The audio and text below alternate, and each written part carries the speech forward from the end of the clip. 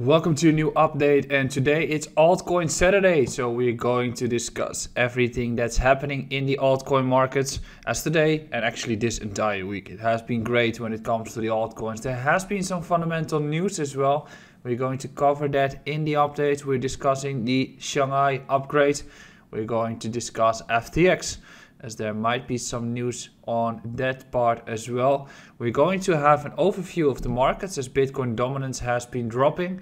And we're going to look at my altcoin portfolio as right now my altcoin portfolio is up 10% and we have made a new trade on it. If you want to stay tuned on everything that I'm doing, real-time updates, you will have to join my public Discord as there I'm posting everything. In this update, I'm weekly updating the altcoin portfolio, including the strategy, but in the Discord, I'm doing real-time updates.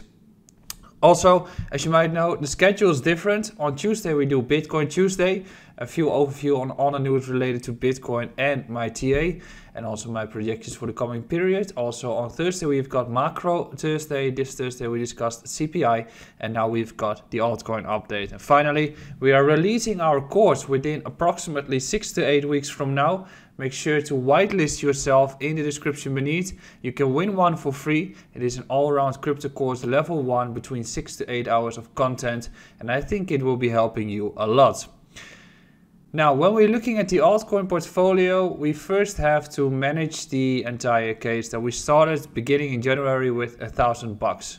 So we're down a little as right now the standings are that we are approximately reaching 900 bucks. Next to me you will see that we've started with Chainlink at 250 bucks, Atom at $200, Curve at $150, Reserve Rights at $100, Lux at $200 and also Axie Infinity at $100. Then we can see that the current standings are Chainlink at 225.74, Atom at 174.75, Lux at 118.28, Curve at 148, RSR at 102, uh, Axie Infinity at 86, and USDT $42.69. I didn't really mean to have that number.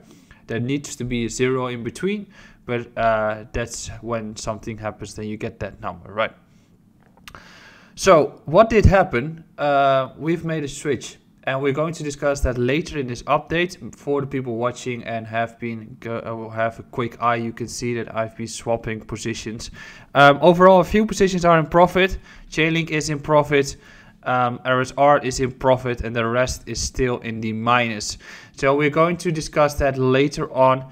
Uh, my goal is to reach 10k during the year and to show you how I'm trading with lots of different chapters within it. So for now the core focus is on holding the positions and we're going to rebalance the portfolio as much as we can to maximize. And along the way, we start to reshuffle the portfolio a little bit more towards a portfolio that has less risk because at this point, the risk is substantially high when it comes to the portfolio as you might understand with these altcoins. But along the way, we will be doing that.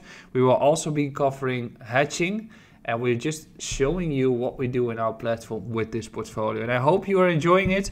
But before we're going to continue with everything related to the altcoins, we are going to discuss the important news events.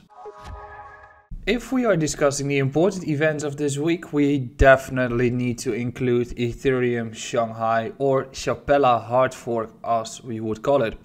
Before we're going to do that, we need to look at FTX. FTX has been um, the market mover of the past year as the collapse of FTX was probably already priced in since the collapse of Luna.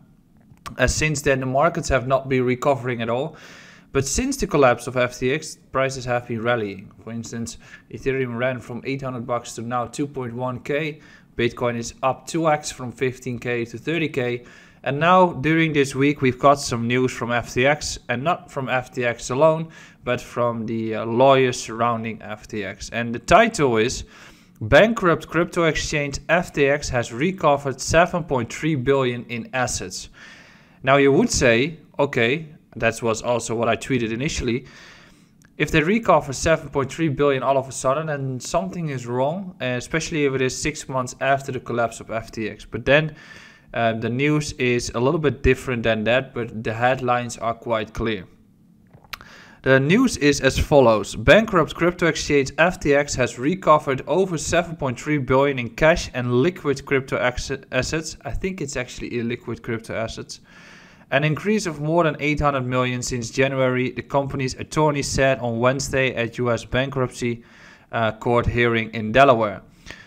So the entire assets that they have have been rallying. Still, they have a big gap as clients are currently unaware of the, the big gap that they have. And some clients, or actually a large bunch of clients, still need to get money from FTX, including myself. But what it shows is that there has been recovered about 7.3 billion in assets.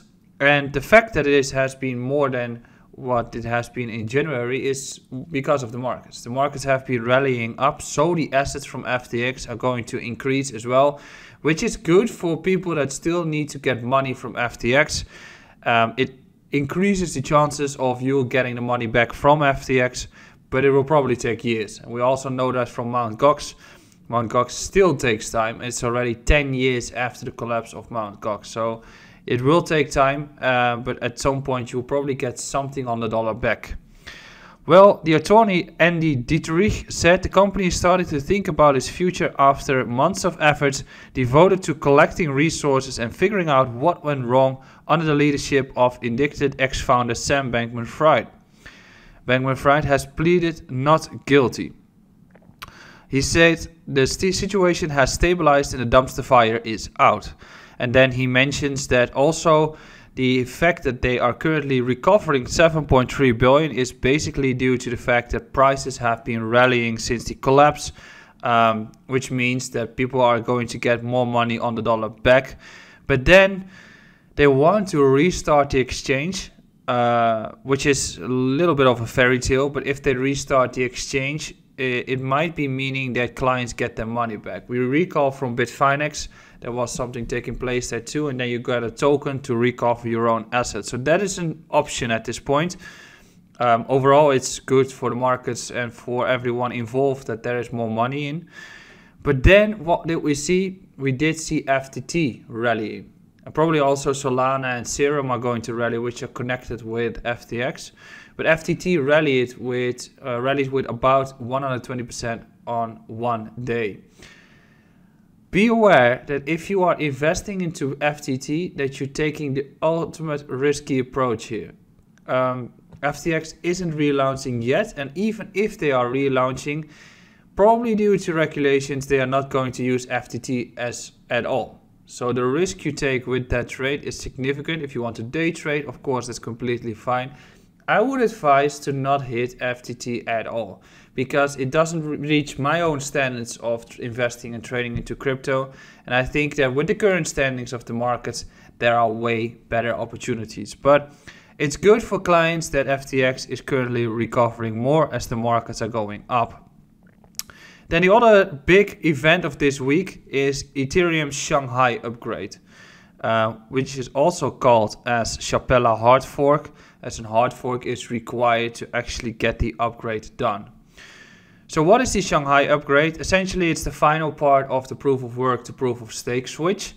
Um, initially, Ethereum was proof of work, but then we had the gas fees and not scalability. Uh, there was no no um, solution for the scalability issues. Now we are back to proof, or now we are to proof of stake, which means that there is a scalability solution and that Ethereum can actually be used. So I mentioned earlier the entire swap towards as proof of stake is probably going to benefit the market even more, although there's also a regulatory framework because now you get money on the dollar every time you stake Ethereum, and that could be a security according to the US law. However, prior to this event, people were expecting a big dump, and it's very comparable to Mt. Gox release. Ethereum Shanghai upgrade um, there are a few steps. So the previous merge took place in September 2022. And since then, stakers were not able to withdraw their Ethereum, which means that due to the unlock or due to the upgrade to Shanghai, stakers are actually able to unlock their Ethereum to unstake and to sell their Ethereum. What I, however, because of the fact that there is now a liquid staking solution, new investors find an argument to actually stake their Ethereum, have limit risk, and to hold their position. So instead of being bearish on the event, it's actually a bullish event. Next, you can also argument the people that have been investing into Ethereum and have been staking their Ether at, I guess it was like 1200, 1300 bucks. If they have been staking their Ethereum and they couldn't be selling at all, why would they want to sell right now? It's not the group of people that want to speculate. It's a group of people that believe in Ethereum's future. And actually, what they most likely are going to do is that what they get out of the, the staking or the, as a reward for staking Ethereum, they probably are going to restake. So now the um, upgrade took place, which is known as Shapella. It was triggered at 2227 UTC, and the network is now processing withdrawal requests. Ethereum Shanghai hard fork has been finalized, enabling, as I mentioned, withdrawals for users who have staked their Ether to secure and validate transactions. Roughly half an hour after the Shanghai upgrade was activated, some 285 withdrawals in Epoch 194.408 has been processed for about 5,400 each, which is approximately 10 million, and not the 350 million people were finding as a potential argument. Then we go further. It's now a proof of stake, of course.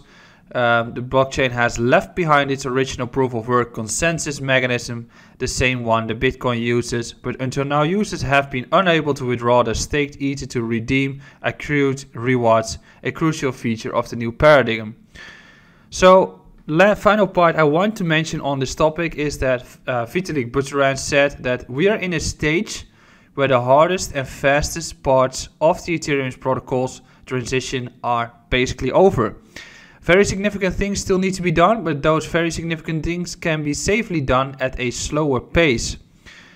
Buterin said that scaling, making transactions faster and cheaper, will be the next issue that the blockchain tackles after Shanghai. So there are still a few steps to make, but we're getting there. If we don't fix scaling before the next bull run, we know that people are going to be stuck paying $500 transactions. If on the other hand we don't have Verkle trees before the next bull run, well things might might suck, but you know it's a much smaller problem than you know $500 transactions, right? So those are a few more steps. Steps sharding, for instance. Um, but the fact that he states that the hardest and fastest parts of the Ethereum protocol transition are basically over is a good thing. Now we can finally start building on Ethereum, which we initially did as well, but developers were struggling because the fees are so high. So now there is an ecosystem in perspective that we can all start building on. So it's actually a bullish outcome. And what, is, what should we expect from the markets? Let's head over towards the altcoin overview in which I first want to discuss why this event is not a bearish outcome for the markets as we can also see in the news and why prices are actually rallying up. So now the altcoin portfolio. The altcoin portfolio is still down 10% as we know from the fact that we have been starting it earlier and the markets have been correcting since. You could argue that the entries have not been going right, but I stated at the first video, which you can find on my on my channel, that I want to build the portfolio in a way that I take additional risk. I bought at one point and I'm just going to hold and then we show how we're going to improve from there and take the maximum out of my portfolio.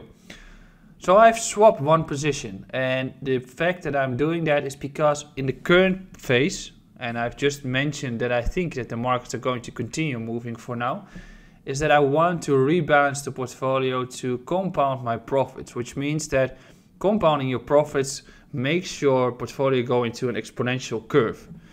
And in the end, if you want to reach 10k, you probably have to. And the, the further you get in that exponential curve, or the further you get into a cycle or an upwards run, you have to rebalance your portfolio again. Which means that for now we are positioned. And I've been sharing to you which positions I have and next we will be discussing all the charts including the trade that I've been doing. Next is that we're going to rebalance the portfolio and take the max out of it. The further we get into the cycle, I'm going to rebalance even more and show you how I'm going to do that. But overall, I want to trade on the higher time frames as it's a swing trade altcoin portfolio and it's not a day trade portfolio. Day trade portfolio I do have, but that's in the premium membership. So that's a little bit of an intro. Now let's discuss what position I've been swapping. So you see, see what position I had and why I've swapped. And let's see what the charts are saying towards us. If we want to discuss the markets, as I just said, first we need to look at ETH against Bitcoin. And as you can see in the chart, I've marked one important level, and that is the date of the merge, which was in September of 2022. And during that period, we actually managed to get a phase of rally, right? So there was a lot of hype around the merge, resulting into people buying the rumor, selling the news, as during the merge we had a pretty substantial sell-off. And since the merge, Ethereum has been correcting heavily, or at least it has been correcting by approximately 25 to 30%, resulting into a case where Ether has been bouncing at 0.062 um, against Bitcoin. And in this case, right now, as a result, we can see that we're bouncing quite firmly as instead of a buy the rumor, sell the news event, we are actually having a sell the, new, uh, sell the rumor, buy the news event. So it's actually the opposite.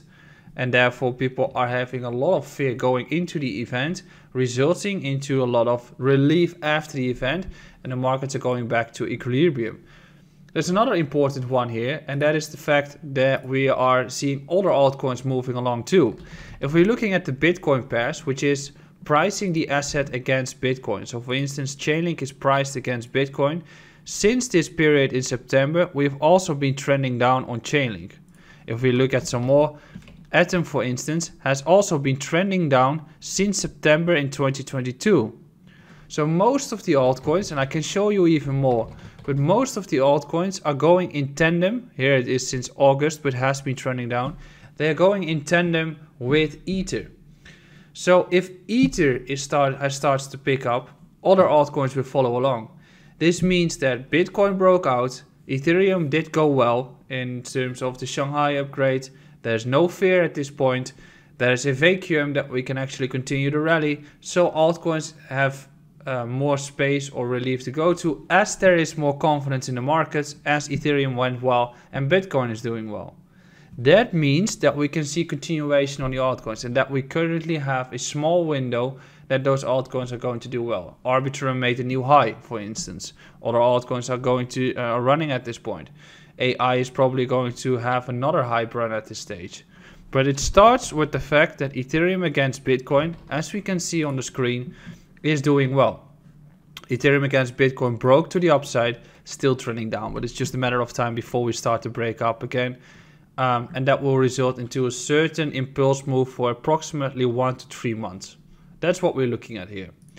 If we're looking at the Bitcoin dominance, we can arguably say that we have been reaching the crucial level at 50. I've been marking it here. I was thinking maybe we can go a little bit higher, but then I realized that Shanghai upgrade took place, which I I didn't include in the previous update. I think that we're on the edge of having a correction on the Bitcoin dominance. I think that we are peaking here and that is going to result into a fall in the coming period. Um, as the last time during Ethereum hard, uh, during the Ethereum merge, it was the bottom. Now it's probably the peak. So we have a window of at least a few months that we're going to do well when it comes to the altcoins before Bitcoin is going to correct, which means that I'm not inducing shorting at all. I think buying a dip and longing is the way to go. Um, total crypto market cap, we have been men men uh, mentioning this before. Um, I need to include the 100 and 200 EMAs here. Currently, we are seeing that we are back above the 200 EMA and 200 MA, which is a result of continuation of strength. We have been doing that here too, consolidating around these two, breakout consolidation, another rally. Right now we are facing a crucial resistance and most likely with this weekly candle we are going to conclude that we are breaking above resulting into a rally towards 2 trillion as there is most likely more continuation to come. Importantly, altcoins finally following the path. We are making higher lows here and additionally to that we are still above the 200 MA and 200 EMA as well. We've got this weekly bullish divergence at the previous all-time high, which is a result of a potential bottoming feature. So this weekly bullish divergence is usually an argument from to go long on your positions and then stick to it until the weekly or daily time frames provide a bearish divergence into higher time frame resistance. In this case, we're currently facing that final resistance, but it looks quite clear that with a little bit more of consolidation, we are continuing the rally and could be seeing a run of 2x on the total market cap excluding Bitcoin, which means that Ether, for instance, can continue this entire rally as we see the exact same on the higher time frames. And I'll just erase the EMAs here. That we continue this rally for Ether unless uh, up to around 3 to 4k. So if we get towards 3k with Ether, um, especially since all those fundamental growth and aspects have been taken into account, that is up 50%, but most likely other smaller altcoins are going to start rallying the further we get into the cycle because there's more confidence. Altcoins have a very parabolic move. Um, so this move of Ethereum is definitely granting more space for the altcoins, and I think Ether can continue towards 3K. Now, what am I going to do with the portfolio? That's what we'll be discussing next. Here you can see the overview of the portfolio and today is a good day as we are up 45 bucks. But you can see that currently we are uh, having different numbers as USDT has $42 and Chainlink has been reduced, which means that Chainlink portfolio is at 226 depending on the market movements at that certain point in time. We're trading this on BitGet as all the pairs that I want to buy are on BitGet as well and it's a, BitGet is our partner. So when we're looking at the markets, this is the portfolio right now. And it's just a matter of time before we swap back into 1K plus. Now, when we look at spot trading and we go towards the positions, I'll show you what the what I've been doing. Chainlink used to be at 270 bucks. However, um, that is approximately 30%. That doesn't mean that I'm currently seeing that Chainlink is going to correct or whatever. But given that I've just mentioned that Ethereum is breaking out and Chainlink is following suit, other altcoins will follow suit. I think that swapping towards smaller altcoins at this stage is going to increase my ROI, which means that I've swapped a little bit from Chainlink towards uh, Lux, and I'll show you in a little bit, through which I can induce a higher ROI. That is my rebalancing for now, as $217 off 900 into one asset has been a little bit too high. Lux has been the one that has been failing the most when it comes to the ROI and therefore it grants an opportunity as most likely it will pick up when the markets are going to pick up. So here the order history, you can see that I've executed 5.5 Chainlink for average at $7.83, price is around that level. If it continues to rally, I'm quite satisfied, fine. Um, at some point I can take profits again. Uh, but this is around $42. And then when we go towards Lux, you can see that I'm currently having an order on Lux and the chart looks ready for a new bull cycle like we have been seeing here previously. I think this time we go higher though. Um, Lux, I've got the position here of 739 and I've got a buy order at 15 and a half cents for 275 Lux. Lesson here, we've had this breakout. Um, ultimately, the best case is that we retest 15 cents but usually when we start to break out, you don't get the optimal retest taking place. Uh, hence why I'm a little bit more aggressive and I'm looking for the retest here at 15 and a half, which is a little bit lower than the current prices. But I definitely don't want to chase the trades. So I'm rebalancing right now, but that doesn't mean that I'm just taking the trade um, based on the price action after such a candle. I'll just look for a retest. Now, when we're looking at uh, the markets itself, this is Chainlink against USDT. The markets are still looking for continuation. So I still believe that at this point, this entire range is finally eager for a breakout for Chainlink. And why is that? That is based on the fact that we've got Chainlink against Bitcoin here. And if we look at the daily time frame, we can see that we've got a bullish divergence, which is quite big. This bullish divergence implies that at least we are going to go towards 3000 sats, which means that at least 20 to 40% in Bitcoin I can make out of this position. This also means that if Chainlink continues this momentum, and for right now we are, uh, we are trying to break this range high, I might be trading this position on the 4 hour and daily time frame with support resistance levels. So the first TP, if we continue to rally, is around 9 bucks. If we get there on a daily time frame, I think I might be reshuffling again if, for instance, the other altcoins are not moving along. But however, I mentioned before, my TP on Chainlink is around 16 bucks because I think that this entire swing rally is going to lead to Chainlink going to 16 bucks, perhaps even $20. So in the meantime, during that run, I want to maximize my profits. I'm definitely not looking to short at this case. But hey, we've got the first slide run. The allocation of Chainlink is a little bit on the high ground at this point, hence why I've swapped a little towards Lux, which is the lowest performer, I would say, and Lux is ready for a new cycle too. Um, essentially, the Bitcoin pair it doesn't have, but it is currently showing. Uh, there we go um, that the USDT pair is again on the range lows. As I mentioned previously, range lows are usually a good time to start buying, and I think that it's on the edge of a breakout, just like most of the positions we have.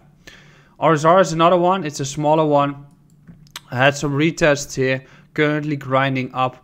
Um, my take profit for this and for the other positions are quite clear. You first want to look at a new higher high for the position, and then you're looking at 6.8 um, 6800 and that's where you want to start taking profits. So very simple for the altcoin portfolio. I still have my positions. The portfolio is still down, but I have shuffled my a part of Chainlink towards Lux to maximize my profits. The further we get into the cycle, the tighter my stop loss will be. The more take profits I will take. Oh, about take profits, I want to flip the trades during the cycle based on the daily time frames and the four hour time frames.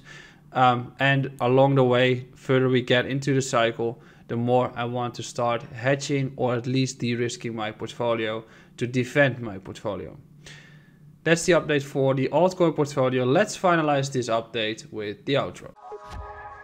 I hope you have been enjoying the update today. We have discussed Ethereum, we have discussed FTX, we have been discussing the entire altcoin overview and we have been focusing on my portfolio.